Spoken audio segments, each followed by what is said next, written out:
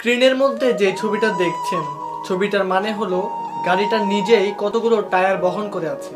কিন্তু তার খারাপ সময়ে একটা টায়ারও তার কাজে আসছে না। ঠিক তেমনি আপনার জীবনে চলার পথে অনেক আত্মীয় স্বজন বন্ধু বান্ধব থাকবে। কিন্তু আপনার খারাপ সময়ে খুব কম মানুষই আপনার পাশে পাবেন। সবাই ভুলে যাবে আপনার অবদান কি ছিল। বরং সবাই আপনাকে বুঝিয়ে দেওয়ার চেষ্টা করবে আপনি তাদের কাছ থেকে কি নিয়েছেন।